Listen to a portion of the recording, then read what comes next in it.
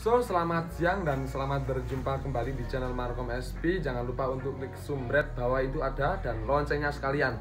Ini ada paketan saya beli di Shopee. Kalau tidak salah ini saya cek dulu ya. Saya beli di mana, dapurnya siapa, dan kok sudah datang ya. E, kemarin saya beli di Graha Spare Part ya.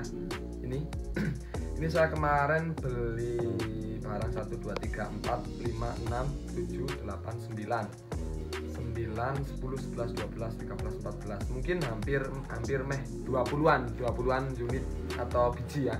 Kita perlu cek uh, video ini intinya ketika nanti barangnya tidak lengkap atau mas bermasalah kita bisa klaim untuk retur atau garansi ya. Kita unboxing.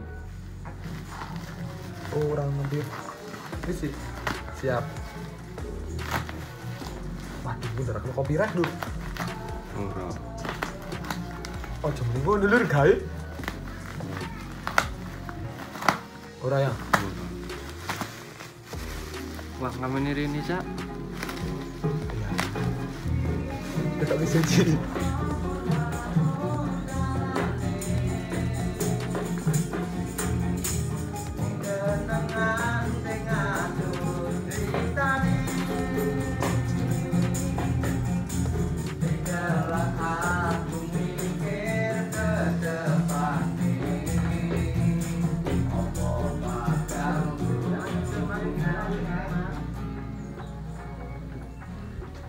Dulur.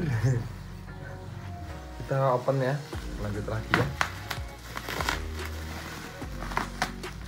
Nah, sesuai unboxing itu kalau ada cutter pakai cutter bisa. Untuk ada nah, ini juga bisa. Nah, dan ini paketannya saya cek dulu ya. Wah mantap. Ini ada notanya ya. Kemarin saya ambil uku A33W oh ini 74A mata solder oke oke oke oke oke ini ada semua. Terus yang bawahnya atau yang oh ini ya. Hmm, ini buzzer Asus oke ada semua.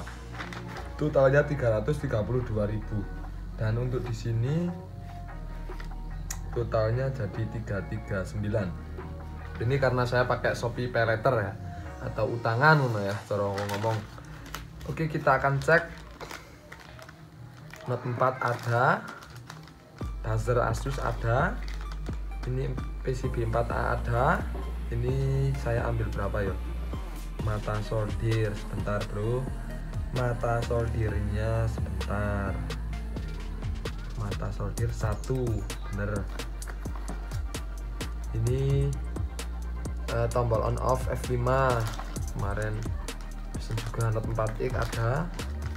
Terus ini apa ya? Kok aneh warnanya tak cek sisan ya. Oh ngamu dong Loh, apa ini ya?